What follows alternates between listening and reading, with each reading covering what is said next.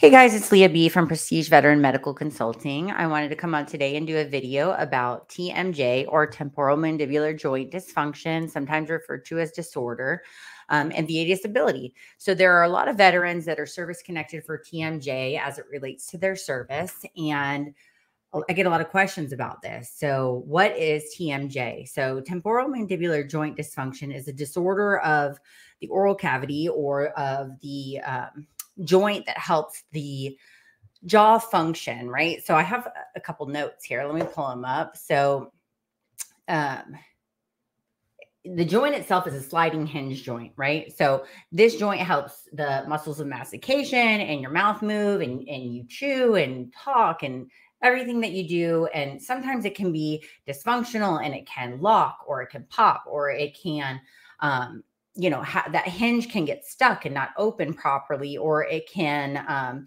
you know open painfully right?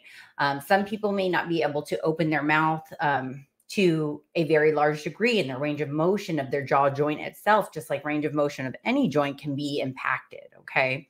Um, so it, it's a sliding hinge joint that um, connects your jawbone to your skull okay um, so, what are some of those symptoms? You can have pain or tenderness of your jaw. You can have pain in one or both of the temporal mandibular joints on either side.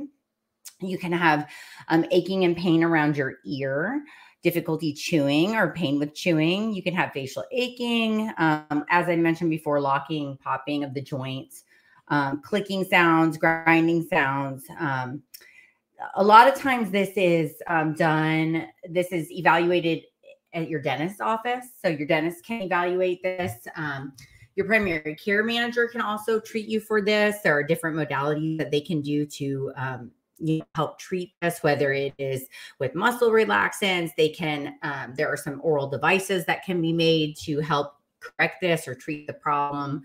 Um, there, are, there are a variety of conditions that you can talk to your doctor about if you think that you're suffering from temporal mandibular joint or TMJ um, dysfunction.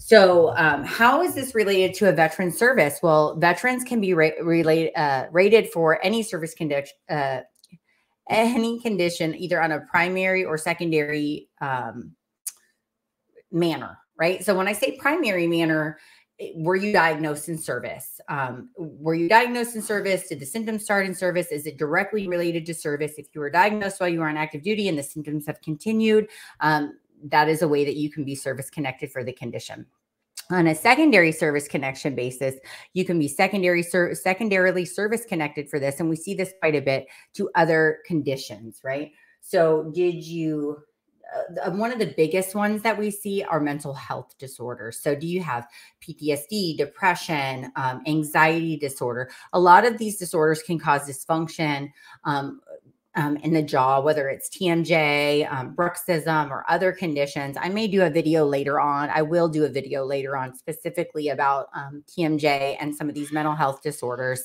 um, so that we can go over and and I can I like to go over some of that literature so that you guys can um, look up some of those articles. So ch- look out for that video in the future. Um, but from a secondary service connection standpoint, some of those can be related to mental health disorders, right? Um, also, if you just have jaw trauma, right? So getting hit or struck in the head or the face or the neck or the ear, um, any kind of traumatic injury to the head can cause TMJ, right? Um, if you had some type of, um, you know, like a TBI blast injury, that can cause issues down the road with your jaw as well, right? Um, let's see. So, I am not an accredited agent. I always talk about this. I'm not an accredited agent. I am not a an attorney. I am a medical expert. I am a former C&P examiner. So I like to just go over things from a medical professional standpoint, but I do like to touch ratings because I think that's important to a lot of veterans. They like to know about ratings. They can be rated for a specific condition. Um, so this can be um, this information is found in um, in the 38 Code of Federal Regulations. So you can pull this data up. Um, yourself um, on the schedule of ratings. It's under the dental and oral conditions. It's under diagnostic code 9905. Um, and chapter four of the 38 Code of Federal Regulations. So, um, of course, keep in mind that ratings are always subject to change, um, you know, based on the powers that be if they change ratings. I know there's a few things up for change or consideration for change right now.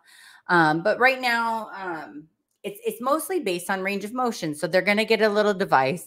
I don't think I have my goniometer here. I did a knee pain video recently, and and we used my goniometer. Um, but a goniometer is a device that we use to measure range of motion, and so they're going to do that with your with your mouth as well. So they're going to measure the, the the amount that your jaw can actually open, um, and they're going to measure that in millimeters, right? So the ratings go anywhere from um, looks like 10% to 50%, right? Um, and it's all based on how many millimeters your mouth can open. And then also, um, there are some other things with dietary restrictions that are involved. So, um, you know, if if you're 30 to 34 mil, I'm not going to go over every single one of these because I don't want to like bog this conversation down. But we'll go over the top rating. So if you're if you're zero to 10 millimeters of maximum unassisted vertical opening, you can be rated at the 50% level. Okay. If you also have dietary restrictions to all mechanically altered foods, okay, it's 40% if it's without dietary restrictions to mechanically altered foods, if it's zero to 10%. And then there are some other, um, you know, you can also be 40% if you have mechan if you have dietary restrictions to mechanically alter foods but you're between 11 and 20 so again i don't want to get bogged down with the measurements and the ratings but they are searchable online if you guys would like to look those up.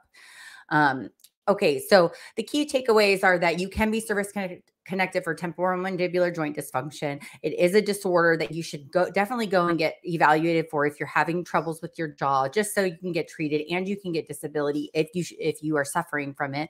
Um, and that you can get taken care of. So I hope you guys are help are, are found this helpful. Keep in mind if you're a 100% service connected veteran, you should be entitled to VA dental care and you can get evaluated by this by your dentist. Also, that you can get evaluated by this by your primary care doctor. You can tell your regular doctor, not just the dentist, you're having problems with this. So I hope you guys enjoyed this video. Um, and I'll see you guys next time. Thanks a lot. Bye.